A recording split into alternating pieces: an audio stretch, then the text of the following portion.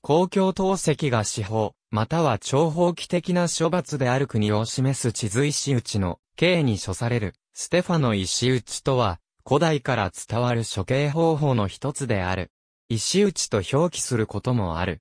下半身を生き埋めにして、身動きが取れない状態の罪人に対し、大勢の者が投石を行い死に至らしめる処刑法。処刑の中でも最も苦痛が多いとされる。罪人が即死しないよう、握り拳程度の大きさの石打ち用の特別な石を山盛りに準備しておく。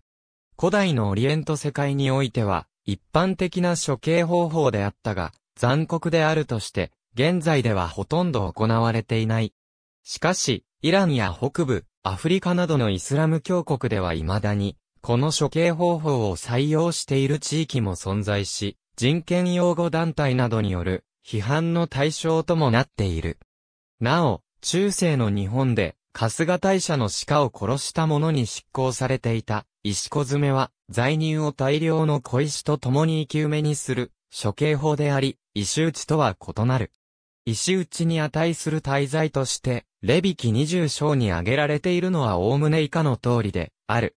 新明記22章の規定で、処女でない娘、女と寝るように男と寝る、男性、婚約者のいる処女や既婚女性と勧誘した男性は、石田による死刑である。他にも、安息日を守らなかった者や、偽証を行った者など、およそ、モーセの10回に挙げられている命令を無視した場合には、死罪が適用されたようである。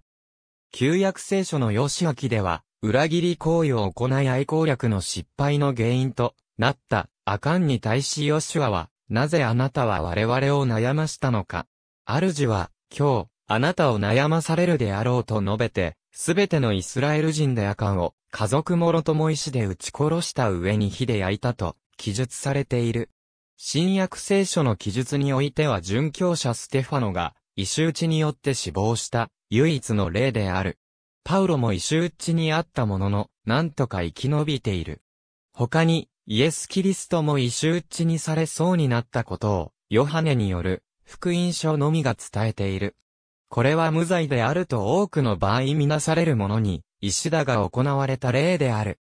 また、立法学者らが、キリストのところに勧誘した女性を連れてきて、異臭地形による処刑の是非を聞いたところ、あなた方のうちで、罪のない者が最初に石を投げなさいと答えたという、記述が、ヨハネによる、福音書、第8章にある。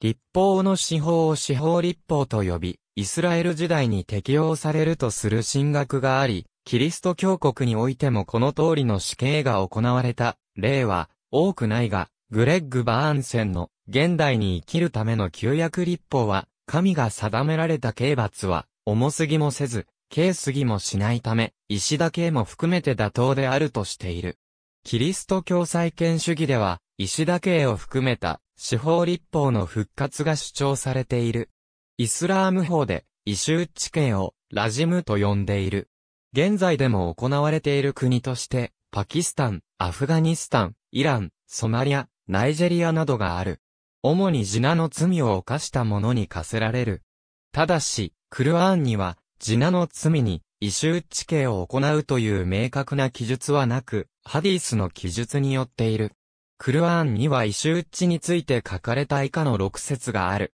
ありがとうございます。